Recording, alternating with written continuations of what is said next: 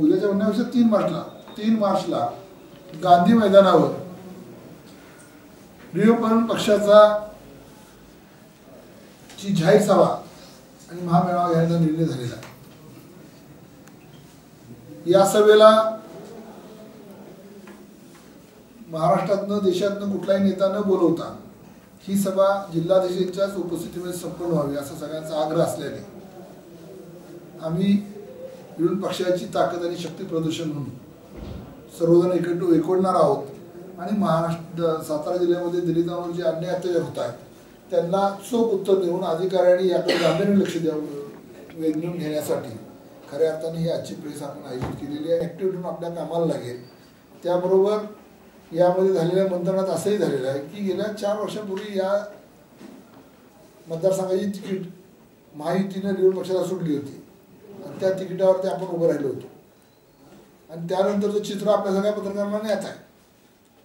तरीही युतीचा धर्म म्हणून आणि आठवसाहेबांचा आदेश म्हणून गेले साडेचार वर्ष आम्ही त्याच्यासोबत राहिलो आहोत. मात्र साडेचार वर्षात इतकं सगळं घडल्यानंतर सुद्धा ज्या मित्र मित्रपक्षावर आम्ही काम करतोय जो मित्रपक्ष आमचा सत्तेत आहे त्याला आमच्याबद्दल आमची दयाच कधी आली नाही. साधं कुठल्याही कमिट्या या चार वर्षात तयार झाल्या. मग त्या जिल्ह्यातल्या असतील. महाराष्ट्रातल्या तर कमिट्या झाल्याच नाहीत आम्हाला कुठं बोलवलंच नाही. पण जिल्ह्यातल्या सुद्धा कमिट्यात आमच्या कार्यकर्त्यांना कुठेही घेतलं गेलं नाही. निव्वळ आमचा वापर यूज अँड थ्रू हा वापर झाला आहे आणि ही गोष्ट आमच्या लक्षात आलेली आहे. त्यामुळे आम्ही आता काय मूर्ख नाही आहोत की त्यांनी पहिल्यांदा बलात्कार करायला म्हणून पुन्हा एकदा थांबायचं. त्यामुळं काही जिल्ह्यातल्या पदाधिकाऱ्यांचा असा निर्णय आहे. तर त्यांनी आपलं साडेचार वर्ष शोषण केलं असेल आणि तरी त्यांना आपली गरज भासत नसेल तर जिल्ह्यामध्ये नव्यानं काहीतरी निर्णय घ्यावा. आणि ह्या निर्णयासंदर्भात आता सगळ्यांची चर्चा सुरू आहे. जर अशाच पद्धतीने आम्हाला वागणूक मिळणार असेल आमचा यूज अँड थ्रू जर वापर होणार असेल तर तो वापर आम्ही त्यांच्यापासून करून घेणार नाही. भविष्याच्या काळामध्ये आम्ही आमचे निर्णय बदलू आणि रणनीती रामदाजी आठवले साहेबांच्या कानावर घालू की या जिल्ह्यामध्ये एवढं एवढ्या घटना घडल्या तरी जिल्ह्यातल्या कुठल्याही कार्यकर्त्याला सन्मानपूर्वक सत्तेत घेतले गेलं नाही. सत्तेचा लवलेशी लागू लागू लागू दिलं नाही. जर आम्हाला नुसतंच हमाल्या करायचे असतील तर या पुढच्या काळात त्या हमाल्या आम्ही अजिबात करणार नाही. आणि म्हणून यावेळी जी पहिली पहिली मिटिंग आहे. या मिटिंगमध्ये आम्ही बी जे पीला आवाहन करतोय की जर तुम्ही आम्हाला सन्मान देणार असेल तर आम्ही तुमच्यासोबत राहणार नाही. स्टँडिंग कमिटीला अनेक लोक घेतली पण आरपीआय बाबत त्यांनी कधी विचारणा केली नाही. मुख्यमंत्री आला तरी आरपीआयला कधी सामावून घेतलं नाही. मिटिंगला कधी बोलवलं नाही.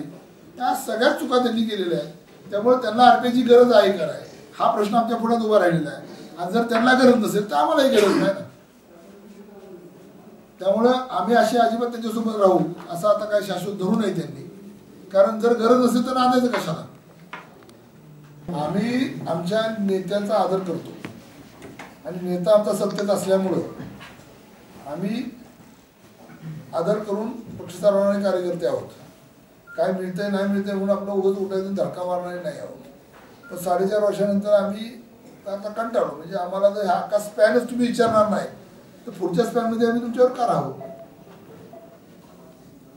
आणि गेल्याच्या निवडणुकीत आपल्या सगळ्यांना माहिती आहे ना की आमच्यासोबत माहिती असताना शिवसेनेचा बंडखोर होतोय बीजेपी काम करत नाही. जर त्या काळात बीजेपीने माझं काम केलं असतं तर तुम्हाला मला दोन अडीच लाख मतं पडली असती. असं असेल तर मग त्यांना गरज नाही ना आम्ही म्हणायचं नांदवा आम्हाला. काय नांदवायचं त्यांनी आमच्याबरोबर राहायचं? साडेचार वर्षात थांबलो हे सुद्धा आमचं पेसेस बघा ना.